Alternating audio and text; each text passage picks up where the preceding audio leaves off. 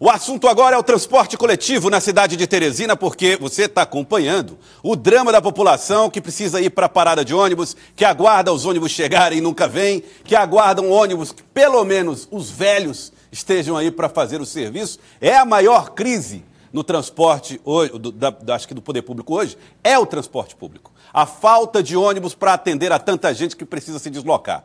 A prefeitura está prometendo aí a contratação de novos ônibus, um processo licitatório em andamento e uma empresa de Goiás teria sido aquela que saiu na frente, Bartolomeu. Uma ótima tarde para você. Não é decisão ainda, mas já tem aí uma empresa que seria a primeira a apresentar as melhores propostas. Boa tarde. Boa tarde para você, Joelson Jordani. Boa tarde para o telespectador que está ligado no Jornal do Piauí, Joelson. Na realidade, foi a, a, primeira fase, então, desse processo licitatório, onde três empresas participaram e a empresa Novo Horizonte Comércio de Goiânia, Goiás, foi a vencedora, a que apresentou a menor proposta. Isso não quer dizer, então, que já a empresa já está homologada como a vencedora de todo o processo. A empresa vai ter que apresentar toda uma documentação para a finalização deste este processo, Joelson.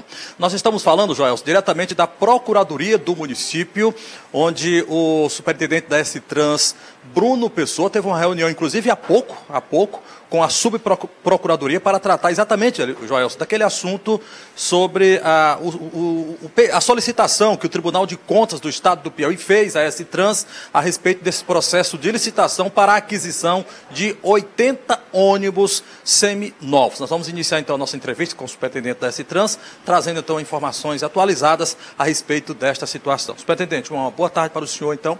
É, o motivo dessa sua reunião aqui, qual o resultado dela, então? Como é que está a Procuradoria qual a relação da, do município hoje com o Tribunal de Contas em relação àquele pedido de solicitação para a compra de 80 ônibus seminovos. Boa tarde, Bartolomeu, Joelson, boa tarde a todos.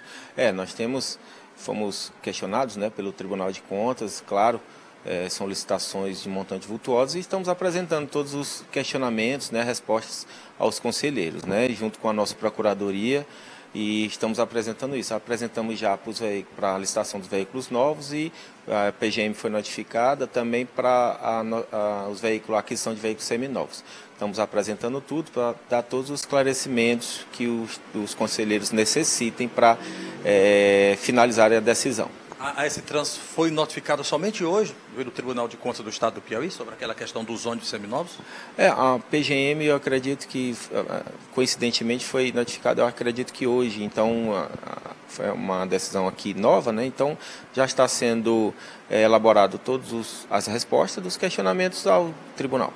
Ou seja, paralelo àquela, àquele questionamento a, do Tribunal de Contas, a licitação está ocorrendo normalmente? Correndo, né? É, foi iniciada no começo do mês e agora no dia 18 a gente teve a abertura das propostas, né? Onde apresentaram-se três empresas e agora estamos agora na fase de é, habilitação, apresentação de documentação para a final habilitação da empresa vencedora, né? Exatamente Joels, para a gente conseguir é, resolver esse problema. O problema é que nós recebemos da gestão passada com cento e poucos ônibus circulando na cidade de Teresina. Hoje já dobramos esse efetivo, essa frota, e agora estamos é, junto com essas licitações para conseguir, conseguir incrementar mais a frota e melhorar a frota. Né? A frota não está tão boa e a gente precisa melhorar, então esses ônibus vão vir para fazer esse reforço, ônibus é, 2020, 2021, com ar-condicionado né, nesse BR Robró,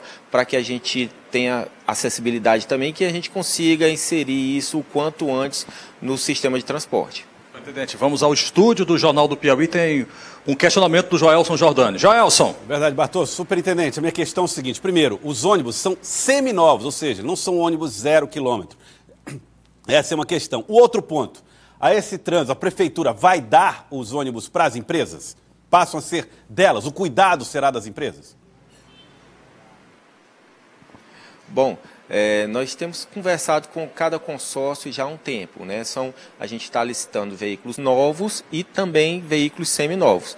Esses veículos novos, né, zero quilômetros, demoram um tempo maior para serem fabricados e que chegue a Teresina. Então, paralelo a isso, resolvemos, né, junto com por determinação do prefeito doutor Pessoa, a gente licitar também veículos seminovos, mas são 2020, 2021, são veículos praticamente é, todos com ar-condicionado, com acessibilidade e principalmente estão prontos para chegarem e entrarem em operação em torno de até 30 dias quando a gente assinar o contrato. Então, a gente consegue inserir isso no sistema o quanto antes, visto que a população vem sofrendo aí pela ah, algumas algumas linhas precisam ser melhor eh, assistidas, né, para a gente diminuir esse tempo de espera do usuário no, no ponto de ônibus. Então, com isso, a intenção e a determinação do prefeito doutor Pessoa é que a gente melhore ainda mais o sistema, o sistema de transporte público. Então, muito obrigado ao superintendente de transporte e trânsito do município de Teresina, Bruno Pessoa. Portanto, Joel, são duas licitações em andamento.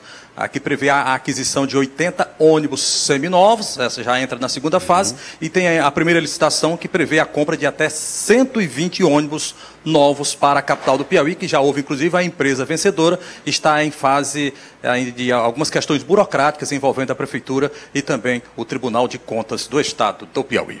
Volto com você, Joelson Jordani. Obrigado, Bartolomeu. Obrigado, Bartolomeu, pela entrevista. E tá aí, a, a, essa empresa dá o primeiro passo na direção de ser a empresa contratada. E talvez aí venha uma resposta para o transporte coletivo. O que não dá é para a população viver o que está vivendo. A incerteza de se chegará ou não no seu trabalho, se vai ou não chegar à escola, se vai ou não para o médico, se vai perder a consulta, se terá o ônibus que precisa. Se é feriado ou, ou é, o final de semana, aí a coisa se complica ainda mais. Tem sido muito difícil a vida do usuário.